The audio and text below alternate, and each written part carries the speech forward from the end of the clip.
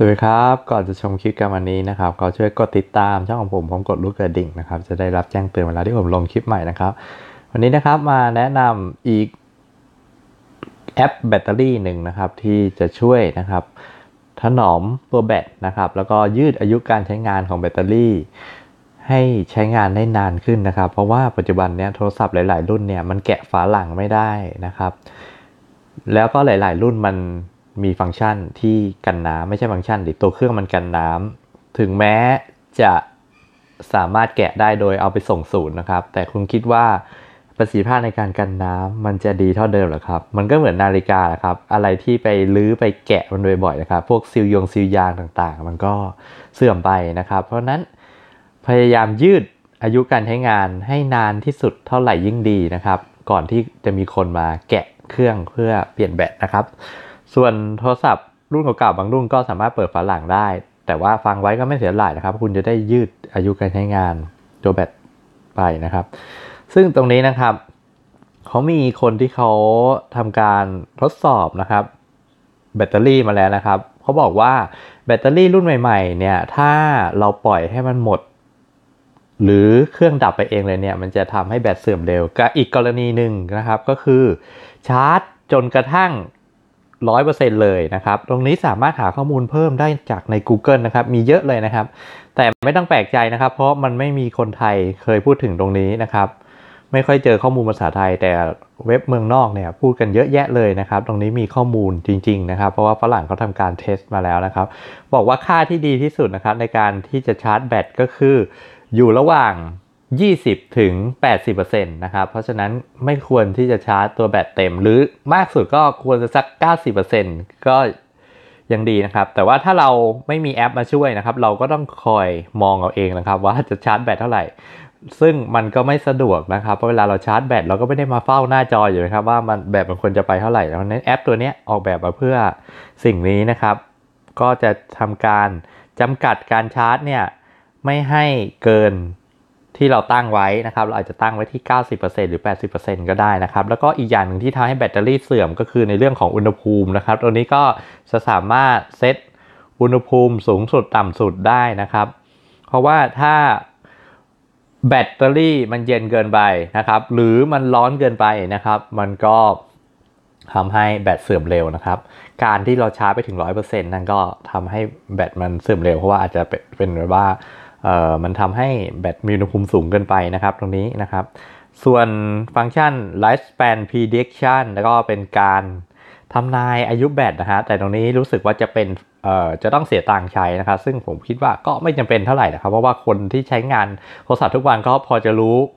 ประสิทธิภาพของเครื่องตัวเองอยู่แล้วนะครับว่าแบตเหลือประมาณเท่านี้แล้วเราใช้งานทุกวันเนี่ยมันเหมือนกันอยู่แล้วนะครับว่าควรจะใช้งานได้เท่าไหร่ สิ่งที่เราควรจะสนใจจริง ๆ ก็คือการยืดอายุการใช้งานมากกว่าโอเค แอปตัวนี้สามารถลงใช้งานได้โดยที่ไม่ต้อง root อะไรนะครับโหลดมาแล้วก็เปิดขึ้นมาเลยนะครับไม่ต้องไป setting อะไรมากนะครับ แอปก็จะมีหน้าตาง่ายๆ แบบนี้นะครับอ่าในตรงนี้ยังไม่มีประวัติอะไร เพราะว่าผมเพิ่งลงไปนะครับ นี่ถ้าเราลงแอปมาสักพักหนึ่งเนี่ย เดี๋ยวมันก็จะ มีข้อมูลเพิ่มเข้ามาเองนะครับตรงนี้ก็เป็น temp ก็เป็นอุณหภูมิของแบตนะครับ สามารถเลือกดูได้นะครับว่าเป็นแบบไหนนะครับอ่า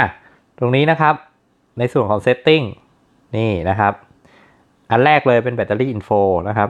ก็ก็คือหน้าแรกที่เราเข้ามาเลยครับมีบอกสถานะของตัวแบตเรานะครับเอ่อโวลต์เท่าไหร่นะครับ อุณหภูมิเท่าไหร่นะครับ แล้วก็นี่นะครับอ่า ต่อไปนะครับ charging limit นี่ตรงนี้ที่ผมบอกนะครับว่าไม่ควรชาร์จเกิน 100%นะครับ มันเกิน 100%ไม่ได้อยู่แล้วพูดผิดจริงก็คือไม่ควรชาร์จไปถึง 100%นะครับ ซึ่งตรงเนี้ยเขาจะมีสีให้เราเลือกดูนะครับ เกรดก็คือดีมากแล้วก็คือถ้าได้ ตรงเนี้ยก็ถือว่าเยี่ยมเลยนะครับกู๊ดก็ดีครับ คือถ้าใครอยากให้แบตเยอะกว่านั้นก็เอากู๊ก็ยังดีเป็นสีฟ้านะครับ แล้วก็ค่าที่ไม่น่าจะทำก็คือเป็นแบดนะครับ เป็นสีชมพูนะครับอ่าตรงนี้นะครับก็ตรงนี้เขาก็อธิบายมาอีกทีแล้วก็เหมือนที่ผมพูดไปต้นคลิปนะครับ ว่าไม่ควรชาร์จจนกระทั่งถึง 100%นะครับ เพราะว่ามันจะทำให้แบตมีอายุการใช้งานนะครับ สั้นลงนะครับอาจจะอยู่ไม่ถึงปกติแบตเตอรี่โทรศัพท์ก็จะอยู่ได้ประมาณปีถึง 2 ปีนะครับ ถ้าเกิดชาร์จให้มันเต็ม 100%บ่อย ๆ ก็อาจจะอยู่ได้ 6 เดือน หรือก็อาจจะไม่ถึง 2 ปีนะครับ เพราะฉะนั้นเครื่องที่แบบว่าหลาย ๆ รุ่นแกะฝาหลังไม่ได้แล้วเนี่ย ผมว่าควรพิจารณาข้อมูลนี้นะครับ ก็ถ้าเพราะปกติเราก็พก power bank อะไรกันอยู่แล้วนะครับ ทั่ว ๆ ไปหรือบางคนก็ใช้งานกับคอมพิวเตอร์ตลอด เพราะนั้นเราไม่มีความลำบากอะไรนะครับ ที่จะชาร์จแบตนะครับเพราะนั้นชาร์จมันแค่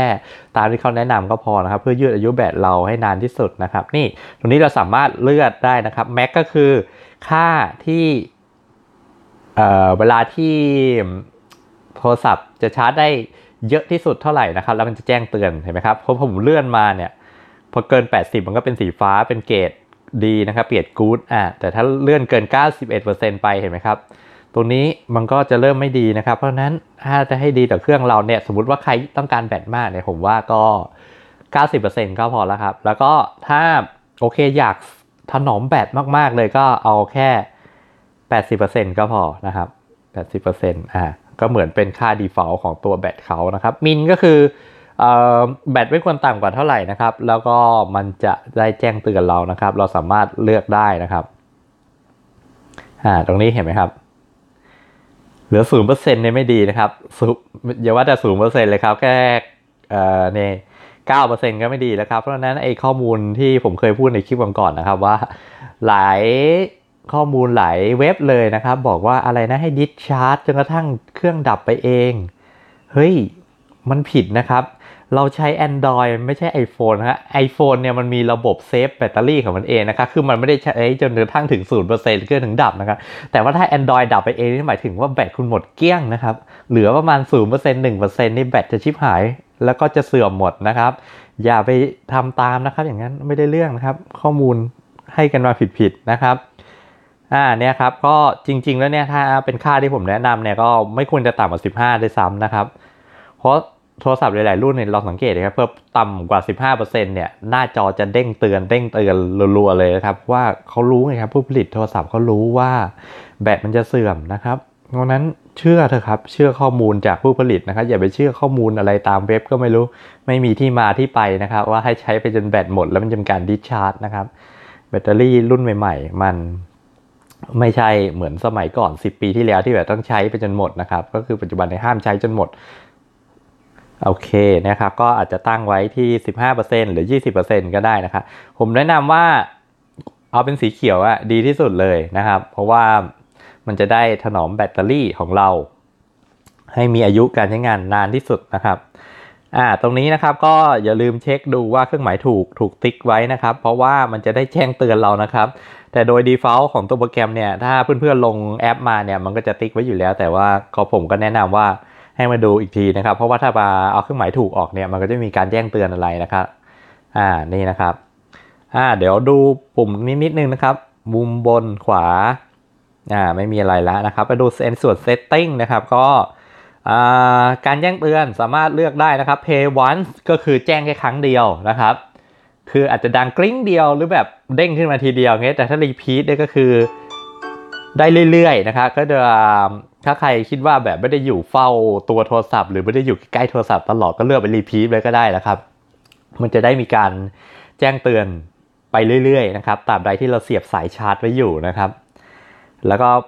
notification sound ก็สามารถเปลี่ยนได้นะครับ notification volume ก็เป็นเรื่องของความดังของเสียงนะครับ แล้วก็ do not disturb at night เท่านั้นก็คือเอเป็นการห้ามไม่ให้โทรศัพท์ในส่งเสียงแจ้งเตือนนะครับ เราอาจจะตั้งเป็นเวลานอนเราไว้ก็ได้นะครับ เพราะว่าถ้าเป็นออฟเนี่ยก็คือมันถึงค่าที่เราตั้งไว้เมื่อไหร่ มันก็เตือนทันทีเลย เราอาจจะ เผลอสะดุ้งตื่นขึ้นมาก็ได้นะครับก็ถ้าตั้งเป็นออนไว้ก็เราก็ไปตั้งเป็นเวลาช่วงที่เรานอนหลับอ่าอย่างสมมติเนี่ยของผมเนี่ยสี่ทุ่มนะครับอ่าผมตื่นหกโมงเช้านะครับผมก็ตั้งไว้เนี่ยครับก็คือสิบโมงสี่ทุ่มจนถึงหกโมงเช้ามันจะไม่มีการแจ้งเตือนถ้าเราตั้งหมดแจ้งเตือนตรงดีไว้นะครับโอเคในส่วนของอื่นๆดูว่ามีอะไรอีกนะครับ ตรงนี้เป็นในส่วนของ temporary ตรงนี้ก็เป็นอีกส่วนหนึ่งนะครับที่ช่วยถนอมอายุแบตเตอรี่เรานะครับเขาก็จะมีอธิบายว่าแบตเตอรี่สมัยใหม่เนี่ยนะครับ ถ้าอุณหภูมิมันเย็นเกินไปนะครับ หรือร้อนเกินไปนะครับ มันก็ไม่ดีแต่แบตเตอรี่ก็เหมือนเดิมครับ มีสีมาให้ 3 สีนะครับ เกรดก็คือดีมากนะครับกู๊ดก็ยังโอเคนะครับแบดนี่ก็คือไม่ดีนะครับ เพราะฉะนั้นเดี๋ยวมาดูกันตั้งค่านะครับ ว่าเท่าไหร่นะครับ เนี่ยถ้าอุณหภูมิ อันนี้เป็นการแจ้งเตือนของอุณหภูมิเห็นไหมครับ ถ้าเลื่อนไปเกิน 44 เนี่ยก็เริ่มไม่ดีแล้วนะครับ เพราะนั้นก็อาจจะตั้งค่าไว้นะครับ ตรงนี้ถ้าตั้งต่ำไปสิ่งที่ไม่ดีก็คือ มันจะเด้งรัวๆนะครับ เพราะฉะนั้นมันก็จะรบกวนการทำงานของเรามากนะครับเพราะเครื่องเราเนี่ย ซื้อมาเราคงไม่ได้มาวางไว้เฉยๆนะครับก็จะต้องแบบมีการเล่นเกมบ้างนะครับ เปิดแอปเล่นเฟซวิดีโอไลน์อะไรก็ว่าไปนะครับนี่ผมแนะนำว่าอุณหภูมิก็ควรจะตั้งไว้ ให้มันพอดีพอดีนะครับเนี่ยอย่างอันนี้ผมตั้งไว้ ถ้าผมตั้งนะผมก็จะตั้ง 43นี่แหละ คือเป็นค่าสูงที่สุดที่มันยังดีอยู่นะครับ อ่ามินก็คืออุณหภูมิต่ำไป น้อยกว่า 10 องศา ซึ่งจริงเนี่ยประเทศไทยมันร้อนมันเป็นไปไม่ได้อยู่แล้วนะครับ ต่อให้อยู่ห้องแอร์ยังไงก็ไม่ทานที่แบตเตอรี่จะต่ำไปกว่านี้ได้นะครับอ่านะครับ ก็ตั้งไว้แบบเดิมก็ได้ครับ นี่คือถ้าต่ำมากนะครับศูนย์องศานี่เราอยู่เมืองไทยไม่มีทางอยู่แล้วครับ เป็นไปไม่ได้นะครับก็อาจจะตั้งไว้เท่าเดิมก็ได้ครับ หรือว่าจะเพิ่มตรงนี้เอาก็ได้นะครับ คือก็ตามเกรดนะครับสีเขียวดีสุดนะครับ สีฟ้าก็โอเค พอรับได้ก็ต้องถือว่าดีนะครับ คือเรียกว่าทางสายกลางแล้วกันนะครับสีฟ้า ผมจะชอบทางสายกลางมากกว่านะครับ อ่าเนี่ยอ่าก็อาจจะตั้งไว้ประมาณนี้นะครับ เป็นค่าที่ ดีที่สุดนะครับ แล้วก็อย่าลืมนะครับ notify นะครับ เช็คดูนะครับ ว่ามันติ๊กเครื่องหมายถูกอยู่ไหมนะครับ มันจะได้ทำการแจ้งเตือนนะครับ ตามที่มันควรจะเป็น อ่าต่อไปนะครับ light spam protection โอเค ตรงนี้เป็นฟังก์ชันที่ต้องซื้อครับ แต่ผมว่าไม่จำเป็นหรอก อย่างที่ผมบอกไปต้นคลิปนะครับ เราใช้งานแบตเตอรี่ของเราเนี่ย เรารู้อยู่แล้วนะครับว่าแบตเหลือ 90%เนี่ย การใช้งานประจำวันทั่วๆไปนะมันควรจะอยู่ได้อีกเท่าไหร่ แต่ว่าถ้าต้องการความสะดวกมากกว่านั้น ก็ไปซื้อแอปครับ ราคา เท่าไหร่นะ70 บาทนะครับ ก็ใช้ได้ตลอดชีวิตก็คุ้มอยู่นะครับ แบตตัวนี้ เพราะว่าเราไม่ต้องมานั่งเฝ้าโทรศัพท์เราเองนะครับ อืมก็มีฟังก์ชันประมาณนี้ครับ ขอให้รับประโยชน์จากคลิปนี้นะครับ แล้วก็ชอบก็อย่าลืมกดไลค์กดแชร์นะครับ แล้วก็อย่าลืมกดติดตามพร้อมกดลูกกระดิ่งจะได้รับแจ้งเตือนเวลาที่ผมลงคลิปใหม่นะครับ แล้วพบกันใหม่ในคลิปหน้า สวัสดีครับ